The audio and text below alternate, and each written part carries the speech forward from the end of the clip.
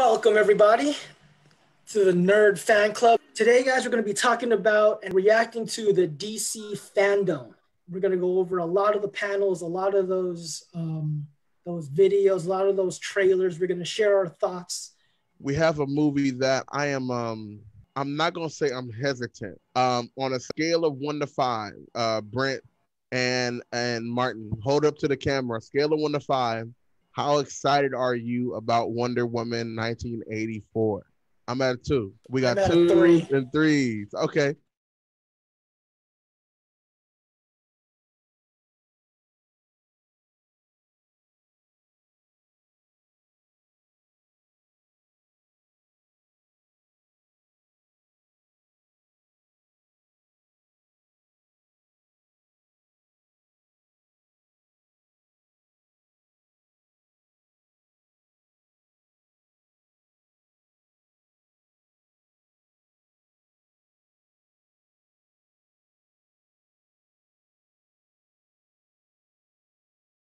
Cheetah actually looks pretty cool. I wish they made her a little buffer. I mean, she just looks like she looks like Wonder Woman's gonna kick her butt. Like she doesn't look like a threat to a golden armored Wonder Woman. And then she's like swinging from lightning, which is like what? I mean, that's a little okay. On a scale of one to five, your anticipation for the Batman. On a scale of one to five.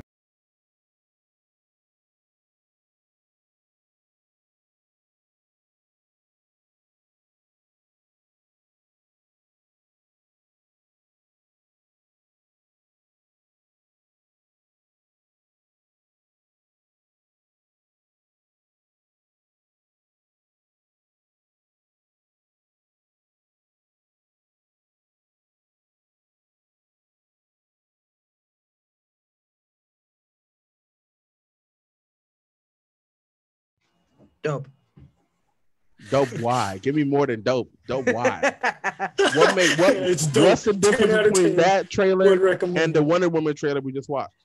Dope. Why? There's a lot more interesting stuff that's going on over here. Like the Riddler, that's a character that like look at you. Like, okay, a lot of people look at Riddler as like, oh, it's just a goofy, like whatever, kind of like Silver Age. Um Joker, Blame where Jim Carrey for that though.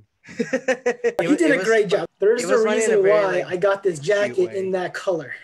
I still like Jim Carrey like that, which is okay, campy, whatever. But like everybody just like, all right, Riddler's just whatever. And now this one makes it look like he's more of like a terrorist kind of threat, which I always like in movies. What do you think about Batman? He's not he's not big bulky like we're used to. Did you not see him beat that dude to smithereens? Like it don't matter. I just feel like His those suit last really those dope. Last just four looks like- punches were unnecessary. Well, yeah, he could have done that, like, and that's just a power move right there. yeah, man, that's the thing. What I I, will say has me excited about this Batman is that it seems as if they're leaning into Batman's true power being fear. Let's get into the infamous, downright notorious, downright uh you know, divisive the Snyder cut.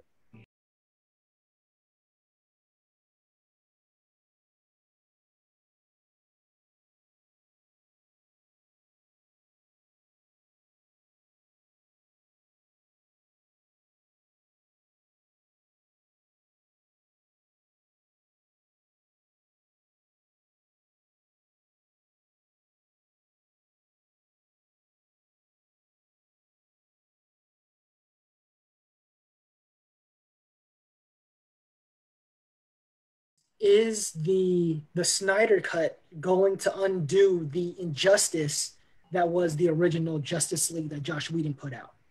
no. I don't I don't think I don't think anything can undo it. It could lessen the pain, Mhm.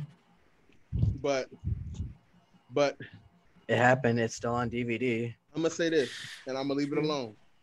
When they're fighting, uh, what was it, Doomsday, and um, and then all they're fighting, and all of a sudden, Lois goes, "Oh, the Trident,"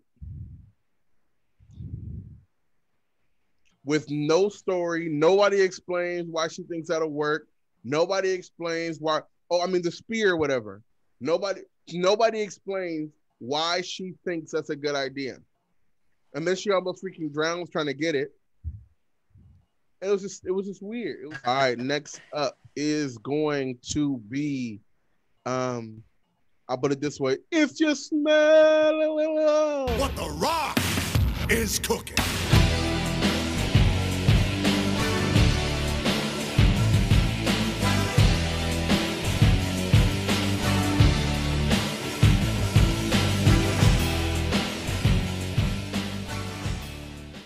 I did a test right now because like I know that's um, Dwayne the Rock Johnson, but I did a little test. I closed my eyes, and I feel like I'm being threatened because Dwayne is Dwayne is such a good person, and like I think the only like other villain role he played was like in Scorpion King, which I haven't Mhm. seen in a long time.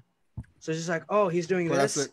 and when I saw the trailer, I'm just like, he sounds really scary, and so I kind of closed my eyes and just like, yeah, he's gonna whoop me to dust. Oh man, true confessions, guys.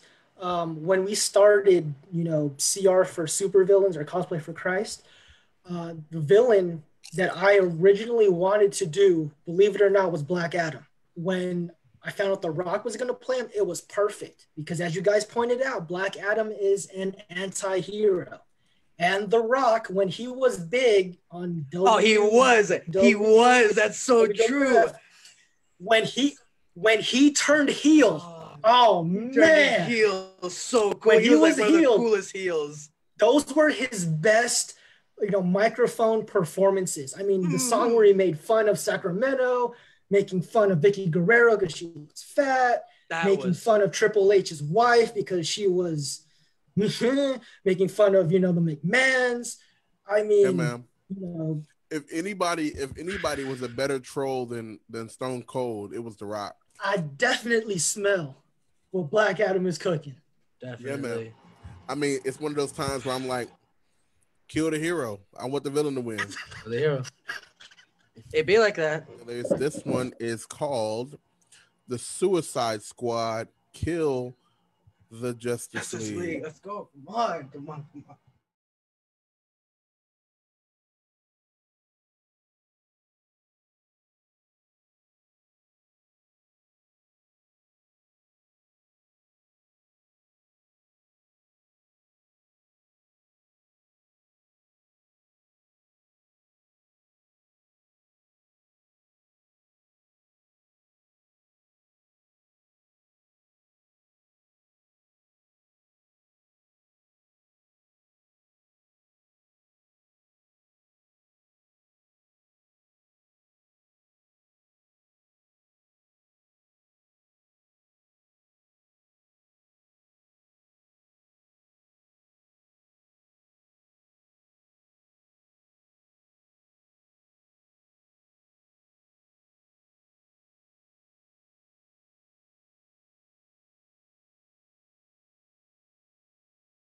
That there's no way the Suicide Squad could ever kill Superman.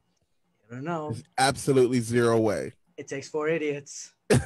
It's gonna Yeah. be it's gonna be me, Brent, Ian, and whoever else gonna rip Superman to shreds.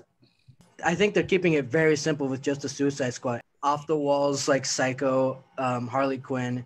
You got your sneaky assassin Boomerang. You have your assault combatant Deadshot, and you have your tank King Shark.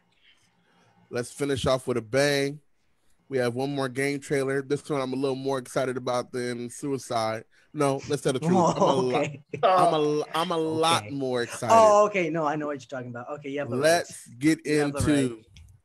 not Gotham Days, but Gotham Knights.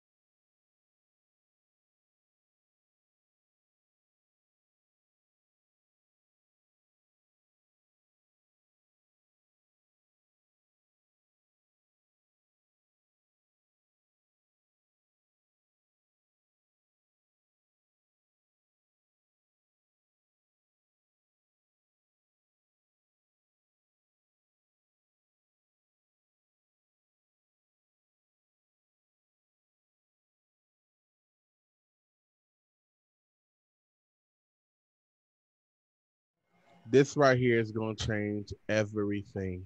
That's crazy. Oh yeah, dude. I'm thinking um, I'm gonna have to get a PS5. Yeah. Um, I have to buy, um, you know, both of these games as well as you know. Are, are, are these both PS5 exclusives? Most likely. No idea, but I'm a PS, you know, PlayStation kind of guy. So that's Got it, got it, got it. So the one last thing was, man, thank you, Brent, for your leadership, man, and leaning into the space. Thank you, Martin, for joining us. Uh, I just thought about it, man. I looked up a picture. I think, I think I'm gonna have to be Luke Cage for my cosplay, guys. I think I'm gonna have, Yo, that'd be so sick, dude. I'm gonna have to do it. I think I, I just, I just thought about like me in the yellow shirt with my beads, with just some jeans and some Timberlands. We're I think I'm gonna have to sweet Christmas. Like I think I'm gonna have to make Luke Cage happen. Um, so maybe we'll do like a, a, Instagram kind of like thing where we'll like show folks us piecing together my, my Luke Cage cosplay. Um, all that being said, man, thank you guys once again for joining the NFC, the Nerd Fan Club. We'll be back next month, back to our debate series. Got a bunch of fun stuff, exciting things coming down the pipe. Um, we may even um, pick up that Avengers game and do some Let's Plays with Martine. We'll see. Anyway, uh, appreciate you all. Thank you to Light and Life Christian Fellowship for the support and the love. Peace out.